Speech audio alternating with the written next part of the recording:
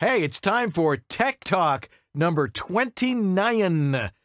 29. And uh, we got lots of cool stuff to cover tonight. Uh, we've got a little bit of an interface shootout, and we've got some questions, and we're going to talk about RMS levels. And so you can actually explain that to me, George. I'll try. Okay. and your tech update. So stay tuned. We got lots of stuff coming up on Tech Talk on VoiceOver Body Shop.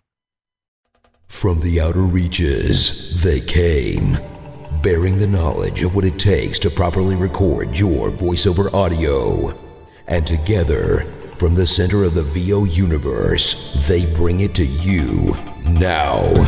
George Whittam, the engineer to the VO stars, a Virginia Tech grad with the skills to build, set up, and maintain the professional VO studios of the biggest names in VO today. And you, Dan Lenard, the voiceover home studio master. A professional voice talent with the knowledge and experience to help you create a professional sounding home VO studio.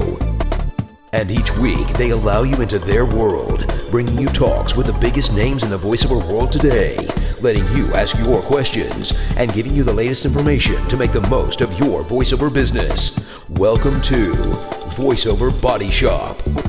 VoiceOver Body Shop is brought to you by VoiceOverEssentials.com, home of Harlan Hogan signature products, Source Elements, remote studio connections for everyone, VoiceActorWebsites.com, where your VO website isn't a pain in the butt.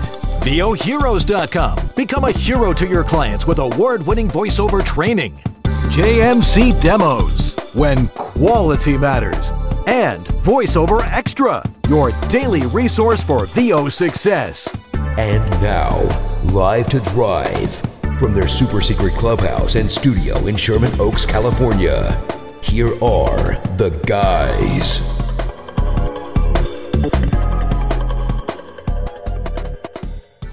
Dan Lenard.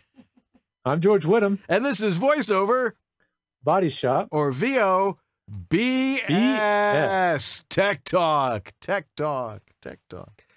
People love the Tech Talk, George. This is what they come here to hear. You and I talk shop because when you and I talk shop, everybody I wants guess people listen. they want to be in our shop. It's fun. Yeah. We have a good time here, and uh, people learn a lot, and we all have a good time together. Right. So Right. And there's a reason for that because you and I are, I mean, there's other guys that are like, yeah, we can get your home studio up and running. You and I have been doing this for probably a combined 40 or 50 years. yeah, that's probably about right. You know, compared to these other guys, like, well, I know how to do this. If you came out of broadcasting, like you and I actually did, sort of, uh, there's a way it's supposed to sound. And as we always like to say at the end of the show, if it sounds good, it is good. But how do you get it to sound good in the first place?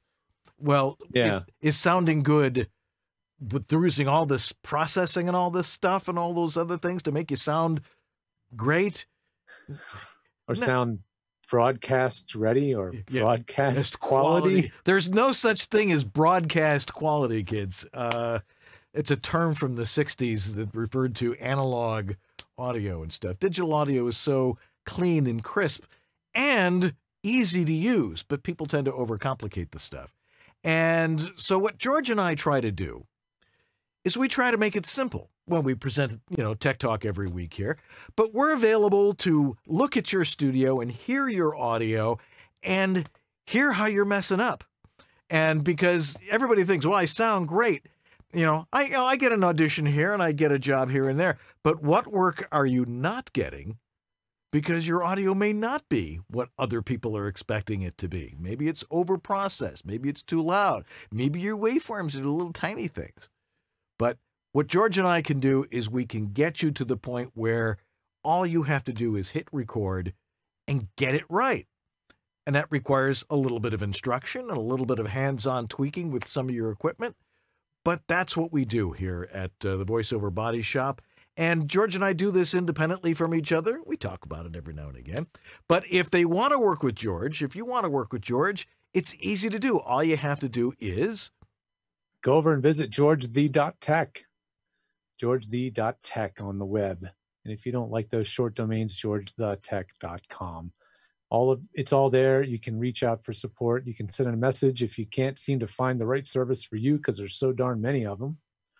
Um, just check out that tech services menu. But if you can't figure it out, just send us a message and we'll be happy to get back to you. And obviously, for the foreseeable future, that will all be done remotely. Virtually, yes. And most of it, what we do is remotely and done virtually anyhow. So it's really not that big a deal. Um, so we're we're very. I'm. I know Dan is too. Very very adept at helping you from a distance, all around the world. Um, hearing studios can obviously be done from a distance. So uh, we we do this a lot. So check it out, and you can see Dan's brand of home studio support over at homevoiceoverstudio.com. There it is right there. Uh, yeah, come on over to my site, check out some of the things that I do and how I can communicate with you. And you can go to my uh, specimen collection cup and uh, dump off some of your audio. And uh, let me give it a listen. Follow the instructions carefully. There's a certain way I want you to record it. And uh, I will listen to it and I will get back to you and I will tell you if your audio is great or if, you know, it needs some help. Somebody I was talking to yesterday said, well, I'm, I'm not really technically, you know, have a lot of expertise, but, you know, I had helped him build his studio and uh, he sends me audio. I'm like, sounds great. You want to upgrade? What are you going to upgrade to? Is anybody complaining about your audio? If it ain't broke, don't fix it. If we think it sounds good, it is good. Trust us.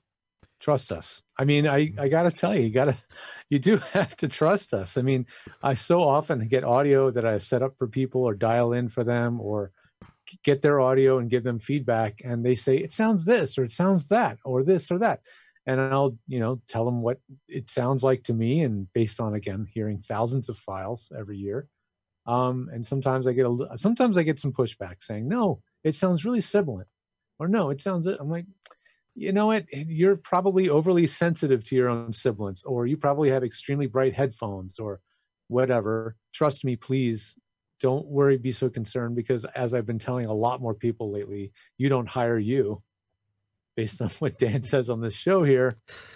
So don't uh, be so caught up on how you sound to you. Right. All righty. Well, it's time for your tech update for this week. Uh, what do you got for us?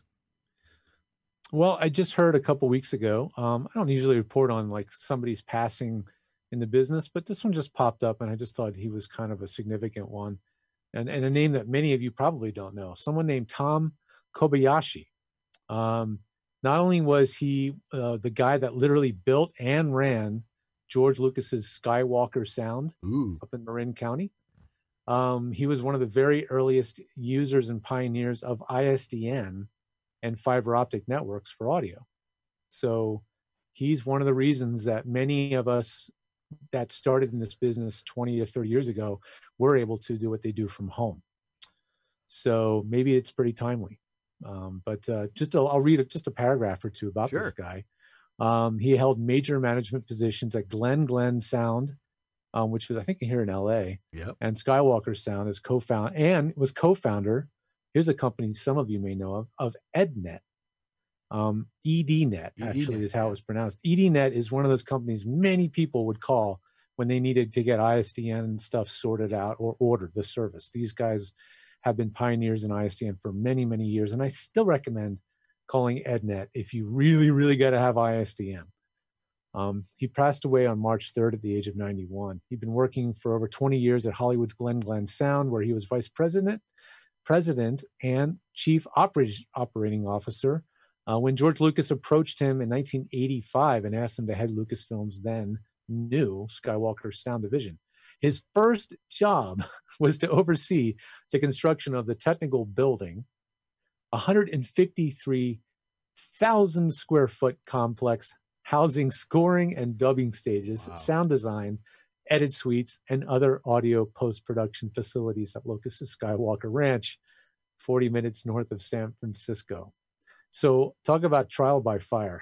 Mm-hmm. I was proud that I got to design the little two room studio at the SAG lab.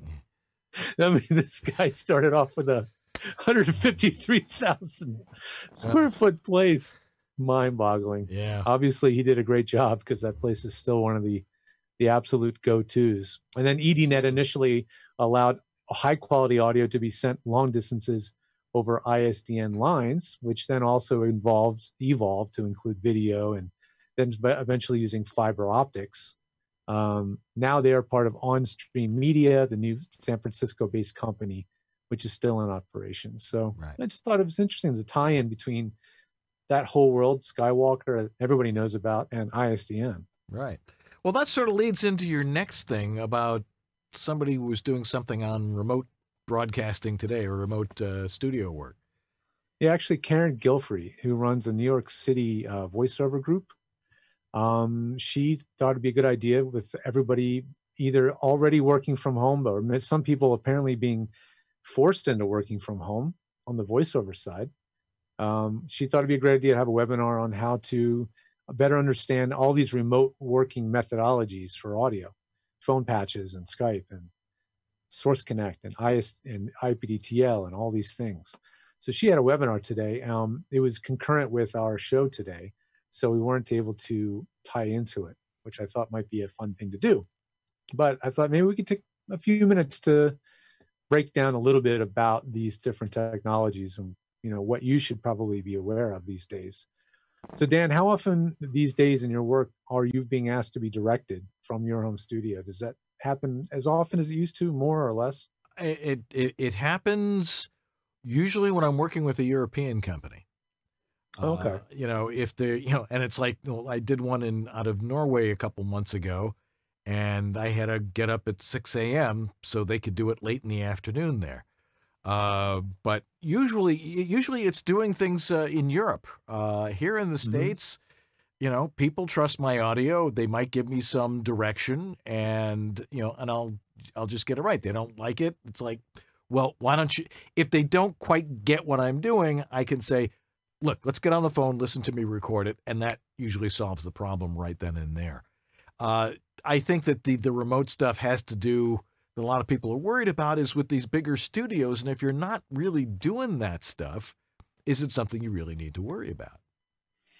Yeah, there's a certain point where likely at this at, at that point it's very likely you probably have representation you know you probably have at least one agent um, and those are becoming some of the higher budget projects where you're doing bigger ad campaigns and you're being asked to record remotely over Source Connect or IPDTL or some even still using ISDN. So that's kind of a more, I would say, rarefied air of the voiceover business. Um, the majority of folks are going to be directed over a quote unquote phone patch. And that can be phone patch. Yeah, a phone patch.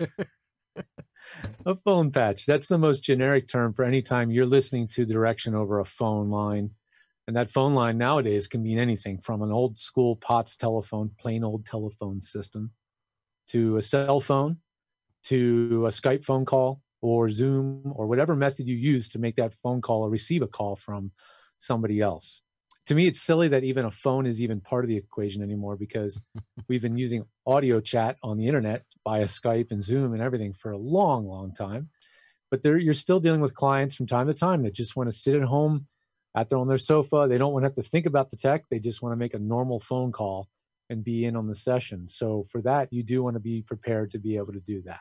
And as Dan was demonstrating, that could simply be a phone. You yeah. could just give them your mobile number, put the uh, earbud, your Bluetooth or your corded earbud in one ear, and just take direction that way. They're going to hear you talk when you talk. It's a phone. It's literally as the simplest form, but a highly functional version of a phone patch. Right. And if your studio sounds good to start with, usually most major studio, if you're if you're doing something that's going to be going to another studio, yeah, I, you know they might want to use ISDN or Source Connect or one of the others to to record on their end. But you know you need to reassure people that your audio is pretty good and they're going to hear it anyway. And you know most of the time this remote stuff is strictly for direction. And you know, right. pe people talk about you were you were mentioning phone patches, and phone patches, you know, to me remind me of something from Mad Men from the '60s. You know, it was like, all right, uh, okay, play that one back. The thing is, yeah. is that you know, most of the time people say, "Can you do a phone patch?" And I'll be like, "Okay, it's set up, go." Yeah. I mean, if you're doing a the short difference. if you're doing a short form thing, you can hold the phone. Maybe not the favorite way to do it, but you can you can hold it. Oh yeah. I mean, it works. Um, playback is uh, something that is occasionally being asked upon.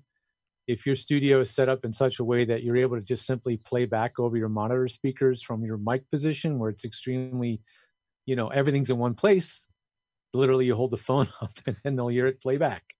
Exactly. That works. It does. Um, not everybody is set up to do that, though. Um, there are ways to do playbacks over the computer. Some are easier than others. Um, one example that's easy is the the Steinberg and the Yamaha stuff. The AG03 Using a loop the. Steinberg UR12s, they have this loopback mode. Um, and with that loopback mode engaged, you now have a very easy way to play back something to them, whether they're on a phone or whether you're connecting to them on Skype or Zoom. Doesn't matter. Um, as long as you're connected via that audio device, you're good to go. That is very seamless on Mac. Um, I find that sometimes in Windows systems, getting the audio drivers sorted out and keeping, you know, Audition from stomping on Zoom and all this stuff doesn't always work as seamlessly as it does on Mac. Um, but it is possible to do. So at the end of the day, don't overthink it too much. If they're being if you're being told now to record something from home and we're going to direct you because you just can't physically come into the studio right now, don't freak out. Give them your phone number, put in an earpiece, and do the session. It's really going to fulfill the need for 95% of you. I'm pretty sure. You know, it really is that straightforward. Yeah, I, I think that there, there probably will be a, probably a uh, not a lot of going into the studio work for at least a month or so now, Yeah. which is a shame because it's always fun to go in the studio, but we have to Right. maintain our distance, and so uh, you know it should not be a big deal. And if you, of course, feel like your audio may not be up to snuff, or they say it may not be up to snuff, that's when you call George or I, and we get it up to snuff. Yeah, I mean, likely you've already auditioned for this job. You recorded it in your studio. They know what you sound sound like. They know what your gear sounds like. This is just a technicality. They want to hear you during the session, and the sound quality of a phone patch is a telephone. Uh, it doesn't matter. It's not going to sound great. It's going to sound like a phone. So don't worry too much about what it's going to sound like to them. They're used to it sounding like a telephone because it is. Right. I mean, we should. It's easy to do anything virtually. For, for instance, this morning I was going to go work out at the gym, and then Mayor Garcetti said all the gyms are closed. So I talked to my trainer. I said, "Okay, we'll just do it in my living room, and I'll just we'll use FaceTime," and we did. And my wife's like, "You grunt a lot when you work out." So uh, I thought she was going to say something else happens a lot when you work out. no, no, no. She's she's very proud of me getting getting getting back in shape here. No, that's good for you. I mean, that's that's fantastic. Um, yeah, I mean, this is a prime time to improvise your training and coaching and start learning ways to do it online. Yeah, It's it's not hard to do anymore, Absolutely. especially one on one like that. Right. So we were t- you were talking about uh, loopback a second ago with the Steinberg and and the uh, and the Yamaha. Yeah. Also, one of the things when we were talking about this new thing coming out called the Evo Four from our friends at Audient, and we Yep. wanted to know what it sounded like. Now, you and I are going to do a much wider uh, interface shootout one of these days. You know, Yes, we are. That it's one of these days, kind of a situation, but Yeah. we do. when when we to can it, get but- together again. Um, John Keeney beat, beat us to it. He did, and because he got an Evo four, and He so uh, he sent me the audio today, and I took a few, you know, a short section and repeated it of three different interfaces: the Evo four, a Scarlett Solo from Focusrite, and an AGO three. And he read the same copy, so let's play that, and you guys judge for yourselves does is does one sound better than the other? So let's listen to that. After, a natural disaster, like the recent tornado, it's, easy, to lose hope. But that's, when cities like Nashville show true character. After a natural disaster like the recent tornado, it's easy to lose hope. But that's, when cities like Nashville show true character. After a natural disaster like the recent tornado, it's easy to lose hope. But that's, when cities like Nashville show true character. So um, okay, Probably couldn't hear the difference, could you? I, I you know, I I could you know I listened to that like five or six times this afternoon, and I'm like, yeah, it just totally proves our point that you know ones and zeros are ones and zeros. Uh, these things all just take our analog audio from our fine microphones and turn them into ones and zeros that your computer can understand and turn it into the graphic representation of the waveform of the audio so that we can manipulate it in all those different ways. And Yeah. really, they all do it pretty much the same way. Well, especially when you're in the same price bracket, so to speak, of equipment. So in this case, he's comparing all sub $200 interfaces the Evo 4, the Scarlett Solo, and the AG03. Yeah. So there's likely going to be extremely small or almost zero, or sometimes actually zero difference between them because internally, in some cases, they all share the same bits and pieces. Right. So the the Evo may be the outlier there because it is an entirely new piece of equipment that's designed from the ground up, supposedly. So, but still, it's it's the new features are really just new features. They're not some kind of new ma- magical high fidelity thing that's going to become, uh, you know, glaringly obvious that the the audio is improved Right. as as you guys could kind of hear. Maybe we can provide a link to that file Yeah. somewhere on Facebook or something. People can download it and they can analyze the hell out of it for themselves. And Right. I mean, if because you know, over the air here, it's not a good. You know, you're not going to really hear this the subtle nuances between them. But Yeah. yeah, it proves the point yeah, pretty well. lis- listening on the monitors in here, it's like I I can't tell the difference. I mean, it's pretty much the same. I think that the, the the issue that that you and I deal with when it comes to this type of equipment is not so much how it sounds, as much as what is its functionality. How is it that it helps our workflow as voice actors, or gives us the ability to do other things like having a loopback feature where we can play something back to a client or uh, you know making sure that it has a the right kind of VU meter on it. But essentially, they all sound the same. So the real difference is in the utility of, of the of the device. Yeah, it is. It, it's the reliability. You know, how reliable is the device and the drivers? How stable is it? It's the user interface. How easy is it for you to operate and do what you need to do? And then it's other little things like is it portable or is it not portable? Does it have a lot of extra features that you may or may not need or not? Um, and that's what you know separates these. Do you mind if you give me like uh, 30 seconds to listen to it locally on my end, just to hear if I hear anything real quick? Sure. All right, here we go. I'm gonna listen to it on my end. You probably, I don't know, you may actually hear this. Let me see. It's after a natural disaster like the recent tornado, it's easy to lose hope. But that's when cities like Nashville show true character. After a natural disaster like the recent tornado, it's easy to lose hope. But that's when cities like Nashville show true character. After a natural disaster like the recent tornado, it's easy to lose hope. But that's when cities like Nashville show true character. So do you, do you know which of those is which? Yeah. So are they in, are they in the order that they're labeled in the Yes. file? Yes, they are. I thought maybe the last one was the uh, Yamaha.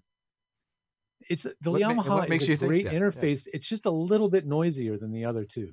It has a little bit more of a a hiss, I think.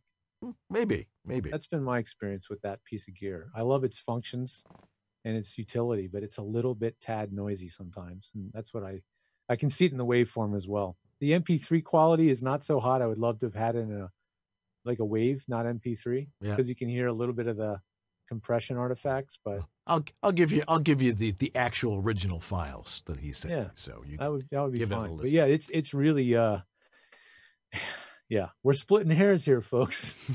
really are. yeah. Might as well move on, huh? Yeah, that's true. If any of you have a question out there, because I know you're all listening intently as we discuss this, uh, throw it in the Facebook or our homepage chat room. And Jeff Holman is still out there uh, getting uh, your questions so we can answer them in the next segment of the show. Now, let's talk about uh, RMS. RMS. Sorry, I removed it because I thought I we was were like, what'd you on. do with it? Good. Oh, there it Sorry. It's back. like, good. we got time for that. So, Okay. what is RMS? What does it mean?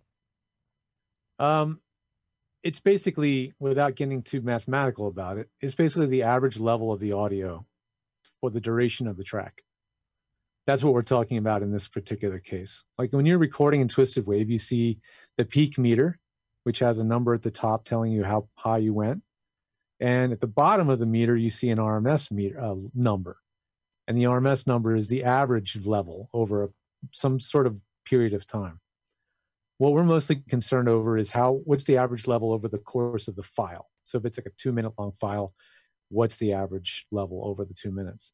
And the thing is, I, I, I brought this up because people sometimes ask me, well, what is, how loud should my auditions actually be? Like right. how, uh, what, what should they, what should I be looking for for a level when I send out a file? And I said, I don't know because, you know, there's no standardized setting. Um, there's only one thing in my world that has a standard, and that's really what's been established by ACX for audiobooks. And they want a range between minus 18 and minus 23 dB average level or RMS. So, and that's a pretty wide range. So for everything else, I made this little spreadsheet. Um, I posted it somewhere on Facebook. I think I put on VO Pros and maybe one other place. And a few people went in there and put their information in. And the takeaway is that it's minus 20. pretty much everybody said I pretty much average around minus 20 dB for the majority of what I'm doing. Radio may be a little louder, but the only person that filled that in put a question mark. so they weren't even sure. Um, radio tends to be just louder content anyway because of the way radio is produced. So maybe minus 15, minus 16 for radio might be acceptable. But at the end of the day, we don't have standards. And based on the small sample of what I've gotten here, if you're hovering in that minus 20 dB file uh, average volume when you're done your file, you're probably fine. If you're much lower, maybe look at um, adding a little bit of compression or limiter or both to just bring the average volume up a little bit.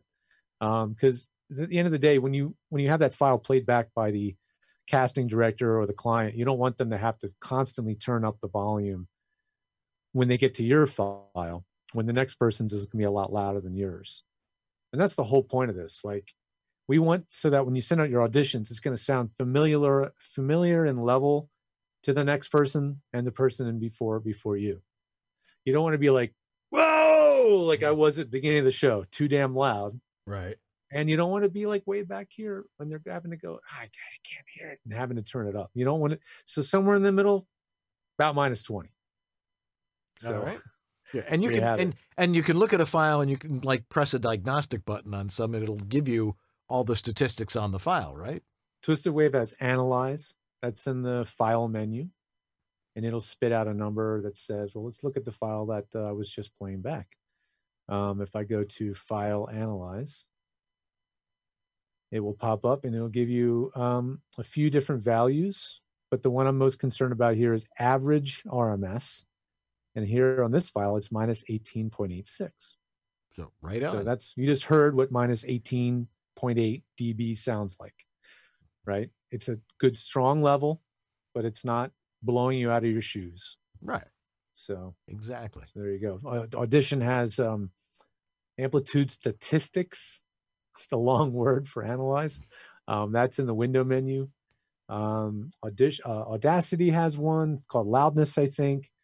Reaper has something called loudness. Almost every program now has a way to do this and analyze that audio because you wanted to analyze the whole track together, not just the point in time where you're recording. So right.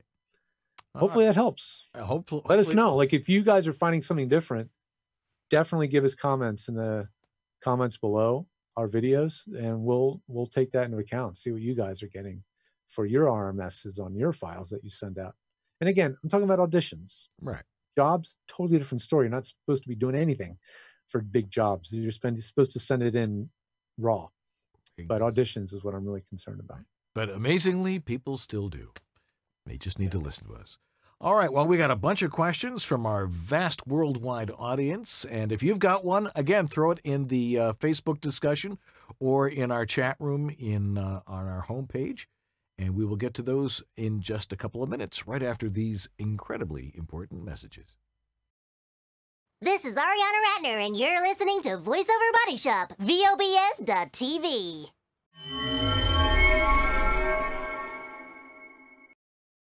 All right, it's time to talk about voiceoveressentials.com. So, while supplies last, buy a VO1A microphone and get a Vox pop stop filter free. Or their voice optimized headphones and get a free headphone hanger. The MXL VO1A faithfully captures deep tones without sounding bassy and has a silky smooth top that is never harsh a perfect sound palette for both male and female voiceover performers. It's the voiceover microphone. The Vox Pop Stop blocks the pops, not your script. And like our voiceover microphone, our voice optimized headphones were designed for voice work from the get go.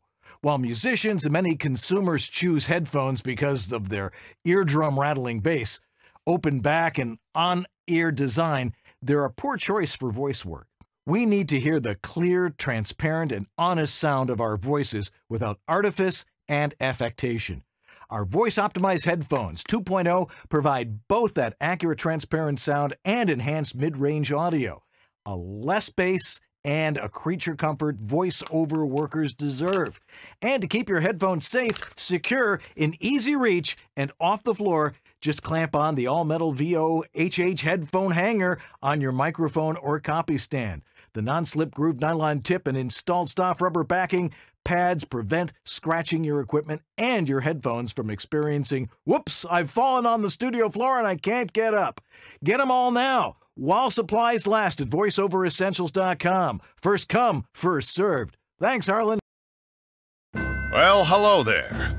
I bet you weren't expecting to hear some big voiced announcer guy on your new orientation training for Snapchat, were you? This is Virgin Radio. Well, okay, we're not that innocent. There's jeans for wearing and there's jeans for working. Dickies, because I ain't here to look pretty. She's a champion of progressive values, a leader for California, and a voice for America. It's smart. It's a phone. It's a smartphone. But it's so much more. It's a the files are ready. Don't forget to pick up the eggs. What time is hockey practice? Check out this song. It's the end of the road for Rick. It's just you and me, Rick. When hope is lost. The i8 from BMW. Who said saving the planet couldn't be stylish? Hey, it's J. Michael Collins. Bet you think I'm going to try and sell you a demo now, huh? I think they speak for themselves. But I will give you my email. It's jmichael at jmcvoiceover.com. Now, if Dan will stop waxing Hey, everybody, it's time to talk about Source Elements. You know who they are, the creators of Source Connect, that tool that you don't have. What? You don't have it? You should have it. It's that tool that allows you to connect your studio to other studios around the world so they can record you from your booth. Uh, it's a tool you should have because even if you're not being asked for it now, you might be asked for it tomorrow or in a month or in a year. You want to have it ready to go and know how to use it. It's really the heir apparent to ISDN technology, and it is definitely what the pros are using. You can go ahead and sign up for a 15 day free trial of Source Connect over at sourceelements.com. Get it up and running, get your iLok account in order. There's a little video on there. I'll teach you how to do it by yours truly, and it'll help you get up and running so you can understand how it all works. Then, that day that you get the gig, you can activate the license. It's a no brainer. Give it a try. Thanks for your support, Source Elements, and we'll see you right after this break. Hi, this is Bill Farmer, and you are watching VoiceOver Body Shop. It's great.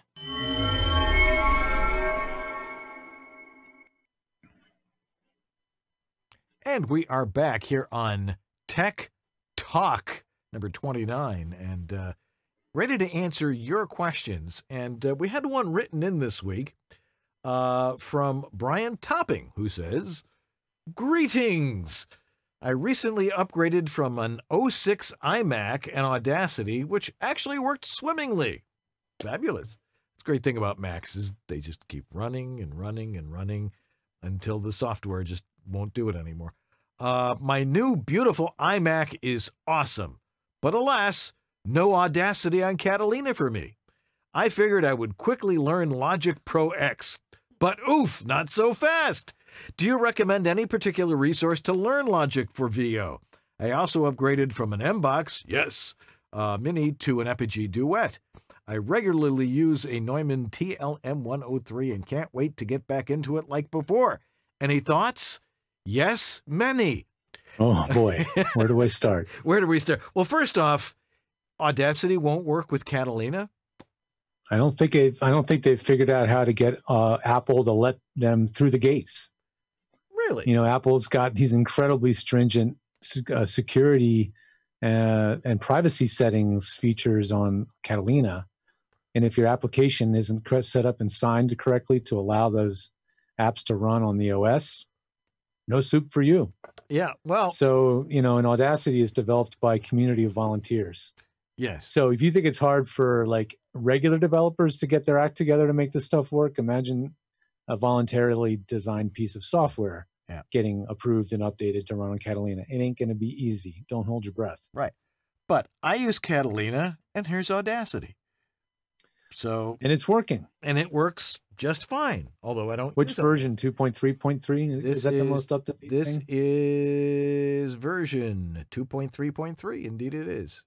Well, they may have done a recent update, really recent, more recent than Brian's test, or you just got lucky, or you you had the magic handshake. There was some something that you did to to get it onto the system. So well, maybe Brian should give you a call yeah. and find out what you did. Yeah. Well, so honestly, might be might be where he got it from too. That's the funny thing about Audacity is you can download it from a bunch of different places. Yeah. Some places may not be quite on the up and up. You know? Yeah, that is that is true. Be careful where you download it from. It should come from SourceForge.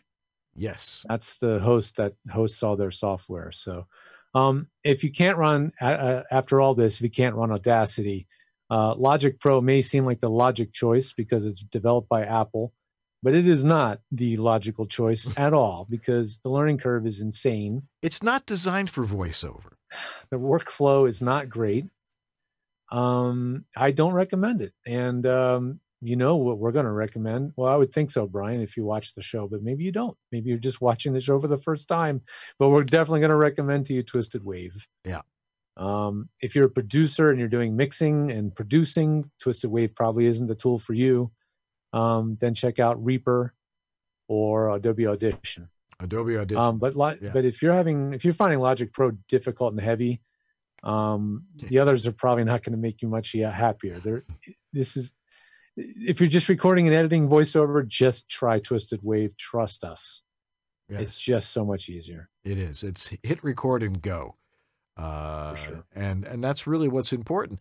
The fact is, is these bigger programs that are much more complicated and multi-track and, and things like that, they don't sound any better. They just have lots more, as we were talking about earlier, functionality but most of it is functionality that has absolutely nothing to do with you recreating a mono, you know, single track track file. I mean, right.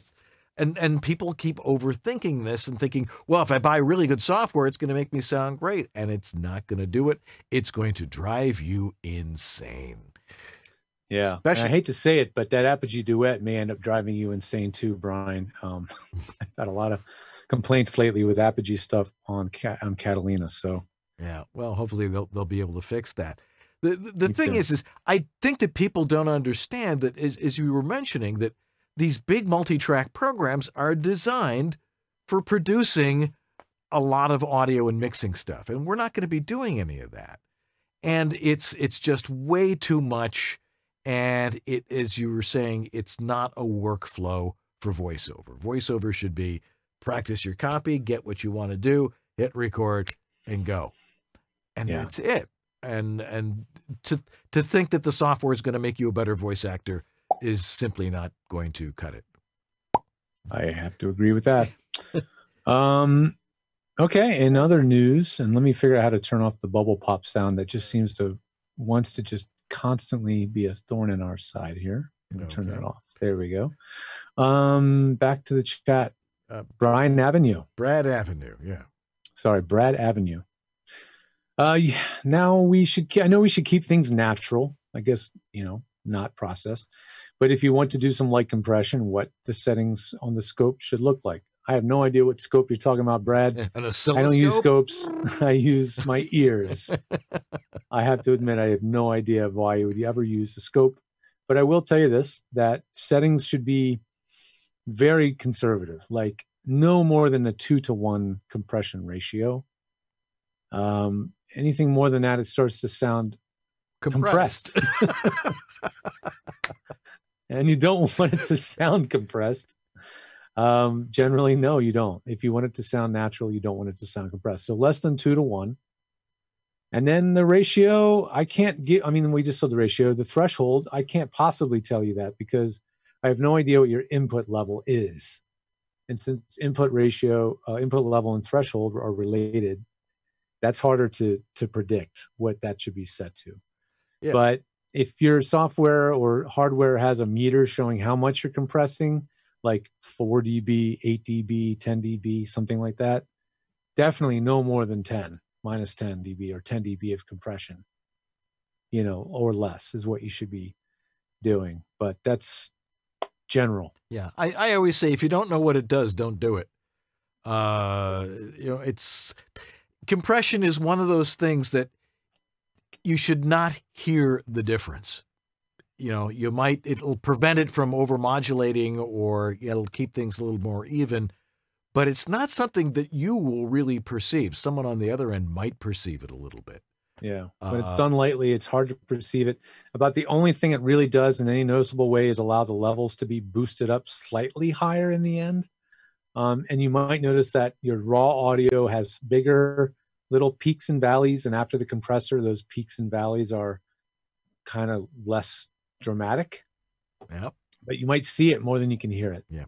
But a but a better idea, Brad, is to take that audio and send it to George or I, or to both of us, you know, at the show, and let's listen to it and say, "What are you doing?" You know, I would Yeah. get this all the time, but I'm like, I want to, like I, we were saying earlier, it's like somebody's like, I want to upgrade. Well, let me hear what you do. Is anybody complaining? If is is there a problem? Are you not getting work? You know, let's listen. Well, it's not because of your audio, or it's well, it's because of your audio.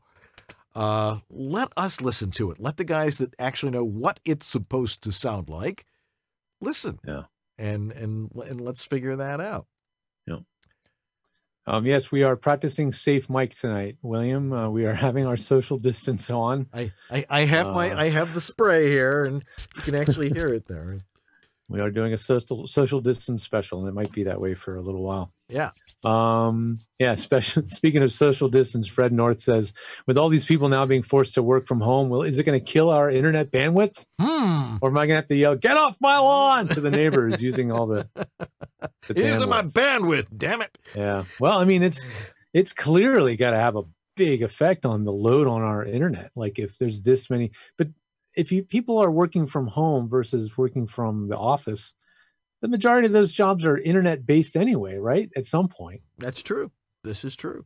If they're tech business jobs, you would think a lot of that's internet based, but it's probably more the people that just are, are literally out of a job and are just at home and have nothing to do but actually read Facebook posts, Instagram, look well- at memes, and listen to what we should be doing or not doing next. Yeah, the missus is watching way too many cat videos. Get Could up be in the worse. morning. I'm here.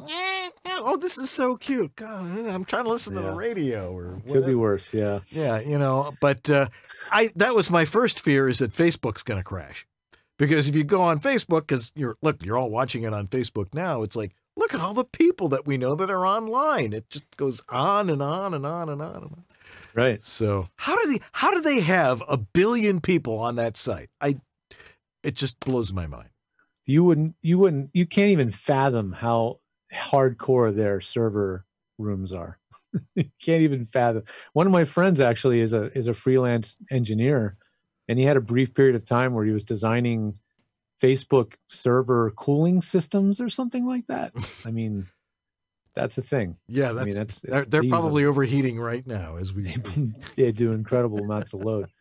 Um, I'm actually doing research to answer the next question because Sound Guy wants to know what's the RMS on the J. Michael Collins commercial. Yeah. So I thought I would go and find that commercial, drop it into Twisted Wave, and actually see what it actually does say it is. Um, let me go to sponsor. It might it might be a little low because we usually boost it back up when we when we do the recording, but uh, yeah, it might be low. I, we haven't actually gone through. I don't think an RMS matched all of our commercials in a while, and that's Perhaps- something that would help probably a perhaps- bit. perhaps we should. to keep them uh, the same. Yeah. but uh, Yeah. I'm downloading it right now and opening it up in uh, Okay. Twisted Wave here, and then I can tell you what that actually is. Yeah. In the meantime, TD Morgenthaler says, I've used Udemy for a lot of software training. Might find something there. You know, that's great. You know, it you can to me, and this is just me, is you know, you can if you try to read this stuff and go and, and learn, oh, how much you know, here's how you adjust the armor, here's how you use compression. It all comes down to what goes into these two things and what your brain perceives. Uh, and that uh, the way to learn it is to do it. You've got to do things and listen to them and hear what things do in order to really learn how to get it right. This is a point I was going to make about Logic Pro that we were talking about earlier is that these things were designed for guys that have experience in a record in a multi-track recording studio. They're musicians, they're recording engineers. They've spent maybe 10, 15 years learning this. You're not going to learn this by reading some manual. You know, it's years and years of listening and experience. You know, how do I know how to do this stuff? I spent 15 years in radio. I was a production director. This is what I did. We did multi-track recording. We, you know, unreal to reel, which was even more fun. Um, you know, there's there's a certain you have to understand the theory involved. You've got to understand a number of different things before you can say, "Well, I'm good at this." Doesn't work that way. Uh, what happens is a lot of people start to use Pro Tools or Logic, and they get stuck on it, and they learn all the stuff, and then they're not willing to shift down to something that's simpler and easier. That's going to make their life a whole lot easier. Have you found that? Yeah, for sure. Yeah. I mean, it's it's so true that we we get we get obsessed over the methods and the tools. And it really just starts to degrade your your your acting after a while. It's really exactly. Actually, I finally got to open that file and I ran it on Twisted Wave. It opens up as a stereo file. Yep. And because it's a commercial that's been, been mixed, usually that's done in stereo. By and the average yeah. RMS. Yeah, yeah. And the average RMS, and I'm going to recorrect, I'm going to correct for peak level so that it matches more like what we do usually, which is minus 3 Mhm. as a peak. So once I correct for the peak of minus three, the average RMS is about minus 13. Hmm. So the commercial is mixed very, very hot. like the average level is very hot. And that's pretty typical for commercials. And, you know, in broadcast, there's actually a level that's mandated by the broadcast industry about how loud those levels can be. And that would definitely be higher, higher than what's uh, typically mandated. But that would be not as high as the way music for tele music for a, a say a CD or what's that a CD or for streaming is mastered. That stuff often is as loud as minus 10 uh, dB average. So it's different all over the map. Right. Well, as I keep saying, I was told there would be no math. Um, That's what I'm here for. you know, I know it's It's you Virginia brain. Tech grads. It's like, "Yeah, we got to know the math. Okay, I got to answer this last one and be prepared Yeah. to turn my mic down. Um, have either of you guys used an Aphex 230? Good, bad? 10 years ago. yeah. Do not use an Aphex 230. Why not? Whoever recommended that to you is a moron. Uh, They're not tuned in. They're not tuned into the current The current meaning last 10 years of voiceover trends. An Aphex 230 or uh, what are the other ones? The Channel strip. The, the panel strips. They were not designed for voiceover. They were designed for a couple of things. One, for controlling somebody who's playing a guitar really loud or something like that. But mostly, it is for live broadcasting. So, say a guy, you know, you've got a reporter out in the field and maybe he's a little bit weak, but they want the signal loud at the station. They'll use an Aphex 230 or a DBX uh, 386 or whatever. yeah, like a 386, a 286. Yeah, and it's it's designed to make the voice louder, but it has to do with broadcasting. and people want to sound like they're on the radio. Only or podcasting. Or podcasting. Now, podcasting is a slightly different thing. You know, and I, I I record and, and produce podcasts, and I you know, and I jack them up, but not initially. Do not record using an Aphex 230 up front. Everything that you need to really boost your signal or to, to do all these things is in your software. Because if you run it through a channel strip, it's there forever. You can't correct back.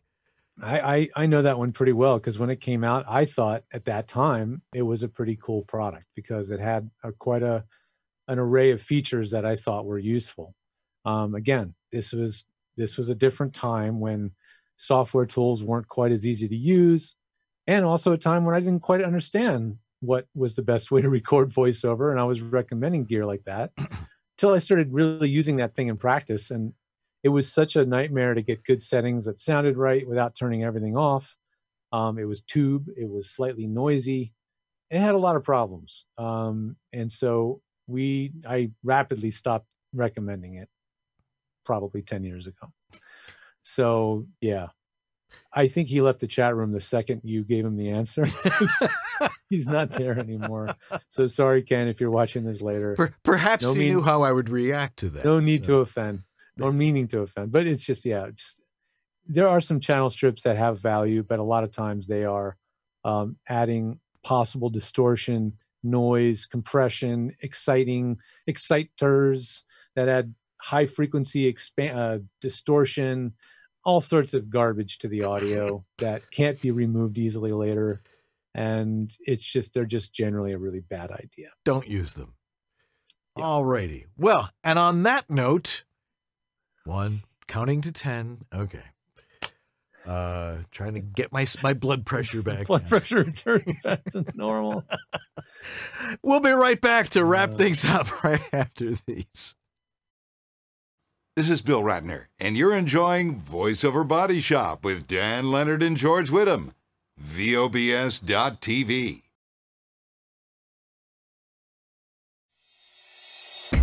Your dynamic voiceover career requires extra resources to keep moving ahead. Now there's one place where you can explore everything the voiceover industry has to offer. That place is voiceoverxtra.com. Whether you're just exploring a voiceover career or a seasoned veteran ready to reach that next professional level, stay in touch with market trends, coaching, products, and services while avoiding scams and other pitfalls. VoiceOver Extra has hundreds of articles, free resources, and training that will save you time and help you succeed. Learn from the most respected respected talents, coaches, and industry insiders when you join the online sessions bringing you the most current information on topics like audiobooks, auditioning, casting, home studio setup and equipment, marketing, performance techniques, and much more. It's time to hit your one stop daily resource for voiceover success. Sign up for a free subscription to newsletters and reports and get 14 bonus reports on how to ace the voiceover audition. It's all here at voiceoverxtra.com. That's voiceoverxtra.com.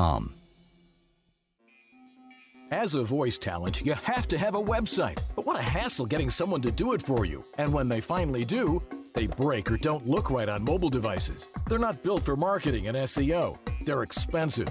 You have limited or no control. And it takes forever to get one built and go live. So what's the best way to get you online in no time? Go to voiceactorwebsites.com. Like our name implies, voiceactorwebsites.com just does websites for voice actors. We believe in creating fast, mobile friendly, responsive, highly functional designs that are easy to read and easy to use. You have full control. No need to hire someone every time you want to make a change. And our upfront pricing means you know exactly what your costs are ahead of time. You can get your voiceover website going for as little as $700. So if you want your voice actor website without the hassle of complexity and dealing with too many options, go to voiceactorwebsites.com, where your VO website shouldn't be a pain in the you know what. So, Levelator it did a great job of RMS normalization for audiobook content and podcast episodes, but it's orphaned software, which means no one's developing it anymore. And now it doesn't work with the latest Macs and Catalina Mac OS. So you're stuck, right? Well, not anymore. Behold the gooey goodness of Audio Cupcake. Visit audiocupcake.com and download the free Audio Cupcake app for Macintosh. Audio Cupcake does exactly what Levelator did so well for so long. It applies RMS normalization to your audio and it preps your work for ACX. And it does it so well with Mac OS, including Catalina. Just like with Levelator, you drag and drop your audio file onto the Audio Cupcake window, and out pops an RMS normalized file. But Audio Cupcake goes even further. Unlock the premium features of Audio Cupcake. And what pops out? Audio that is both RMS and peak normalized and converted to a 192K mono MP3 file ready for uploading to ACX or your podcast platform. That's delicious audio goodness. Audio Cupcake is available free at audiocupcake.com. That's audiocupcake.com. Audio Cupcake, a beautiful, simple way to master your audio narration and podcasts. You're watching VOBS.tv. I don't know why. It's crazy what they do here. I think I'm going to go somewhere else and have a cheese sandwich. You know what? Um, We're live. A cheese sandwich sounds pretty good right about now. Yeah, it be does, honest. doesn't it? Yeah. Good thing I have a lot of cheese in the fridge. I was going to say, loaves of are, bread. Are you well stocked? Pretty well mm, stocked. Okay. Pretty well stocked. Well, that- Should be good for at least a week or two. Yeah. See, we went to Target yesterday. There was toilet paper and eggs there. So people in Los Good. Angeles have gone crazy with this stuff. What's going Yeah, on in the rest have. of the country? You know, by the time people are hearing this, though, who knows what's what the, what's going to be going on? Yeah, it'll be a week from now, and then everything will be different. Yeah, or much worse. Who knows? Well, yeah. Yeah, of course, my thought is is that as voice actors, we're all sequestered away in our booths. If this wipes out humanity, voice actors will rule the world. It's kind of true. Yes, and I'm not telling you where my studio is. Wipe out the humanity, but leave the voice actors Actors- behind, that's right. please. You know, so with the entire population of the earth will, hey, how are you? I'm fine. How are you doing? You know, anyway. uh, who are our donors of the week? Oh man. Okay, Sarah Borges, Mike Gordon, Stephanie Sutherland, Shauna Pennington Baird, Hal- uh, Harlow Rodriguez, Michael Kearns, Christy Burns, Brian Rosh, Uncle Roy Okelson of Antland Productions, Michelle Blinker, and Rob Rader, Later. whose name I learned last week. That's right. Um, yeah, these are all folks that names that you may have heard before because almost all of them are subscribers, and so that means they clicked the donate button on vobs.tv and decided to send us a little bit of money on a recurring basis on PayPal, which you can do or not. You can just do a one time. If there's a particularly amazing guest or you walk away with a nugget of gold from the show, then leave us a little tip there or not. It's up Right. to you, but it's there if you want to support. We appreciate it. It makes us technically sound every week, which is very important. Yes. Hey, show us your booths. This is uh, Henry Howard's microphone collection. oh man. He's got he's got a few there. I was you know what? If I was a voice actor full time, I would and had a few years in this business, I would probably have a collection kind of, like that myself. Yeah, I mean, you got a 414 and a U87, a couple of Heil. Uh, Heil PR 40, I think a PR 30, a EV 320 maybe in the middle, possibly. right? There's a, Um, uh, uh, looks like Sennheiser 416 maybe yeah, and then, for sure. And then there's a um, one on the end is a Rode. Rode, Yeah. Rode NT 1A. We know the our one- microphones. The one next to the Rode NT 1A though, I don't know it. I'm not sure what that shotgun mic is. Well, that might There's be, another one there. might be an 875R. Who knows? Could be. Could be a Rode. Yeah. Good collection. Yeah. Very impressive. Yeah. Guess what? It doesn't matter. Don't use those ones in the middle. Those dynamic mics are Yeah, not you- so they're hot. not going to be great for voiceover. but uh, most of the other ones are great. So Yeah. So anyway, if you've got a picture of, of your studio in landscape, not portrait, uh, send it to us, and then you can be the background on our show, and you can send them to the guys at vobs.tv. All righty. Well, we need to thank our incredible sponsors. You can go first, George.